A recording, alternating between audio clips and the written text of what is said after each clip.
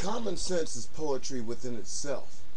To think commonly, to think openly, to think itself is poetry.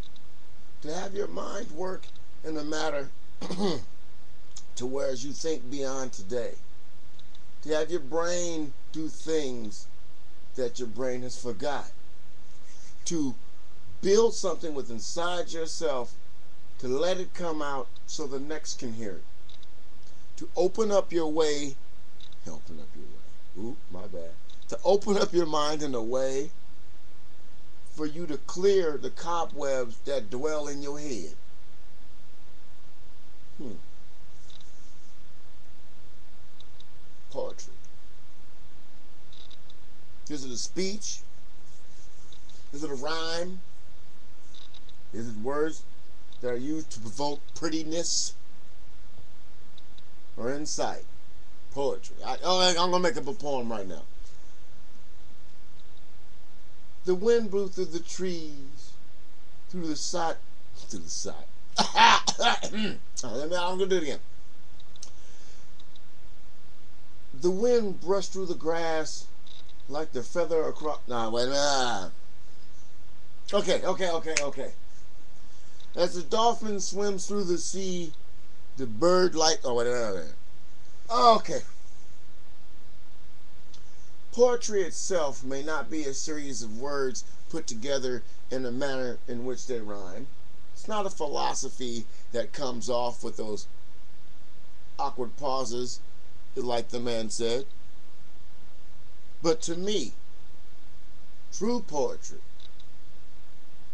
poetry itself is happiness. To see a family at the park, mother, daughter, son, and father. Poetry to me is watching the, the, the wind blow through the trees and seeing people in a happy setting with no violence or bullshit distracting them from the, you know, the moment, the the the peace and serene surroundings in which they're in in the picturesque setting. Poetry to me, the nice steak and lobster feast for free. Poetry for me, well, poetry for me is that guy. You know what guy I'm talking about? That guy put up that site. The poetry for me is common sense. Common sense is poetry.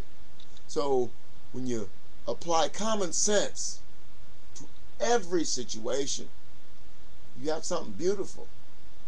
You got something that's not stupid. It's like, oh, that's stupid. No, wait a minute.